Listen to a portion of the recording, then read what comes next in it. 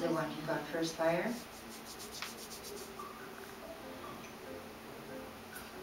You know that chicken hawk? He got a long nose first time, they say. Crow got king salmon. You can't eat it without fire, you know. Some place you see fire come out salt water. You don't know how to get it. How do you know fire, Crow? You don't know which way you're gonna get it. Somebody gonna get it,